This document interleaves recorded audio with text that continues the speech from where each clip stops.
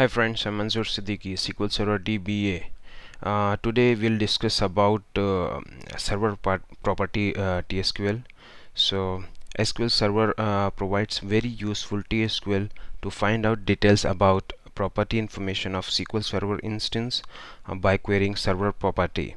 With this TSQL, uh, you can find out information like product version, server name, edition, collation, license type etc and ma many more details. Uh, you can refer a query which uh, I'll show you uh, in practical okay to get more details.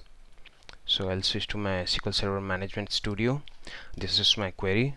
You can select uh, server property product version okay and uh, as product version uh, for column name.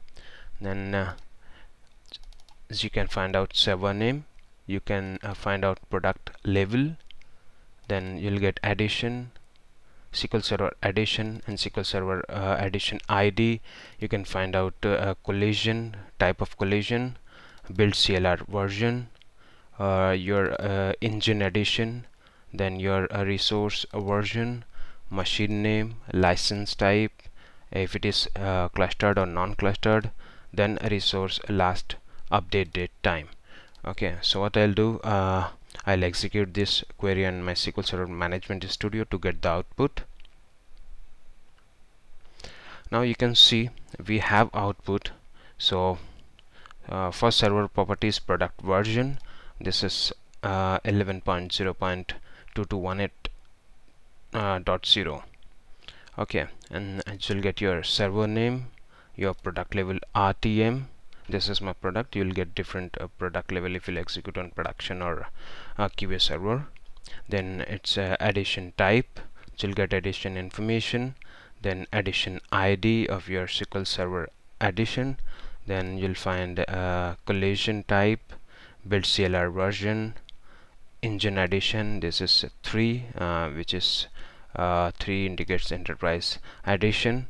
Then your resource version then your machine name or server name then uh, license type this is disabled for me this is RTM and you'll get your license type. Uh, if you'll check on your production server is clustered and uh, you'll get 0 or 1 value in this. Okay then your resource last update date time. So basically this is uh, very simple query but you'll get uh, very useful information by executing this query. These information are uh, useful uh, uh at uh, many times while migrating or uh, if you need information about the server etc okay so I list down all the details on my website also sqlserverlog.com so you can refer that article also. And if you have any query you can uh, revert to me. Thank you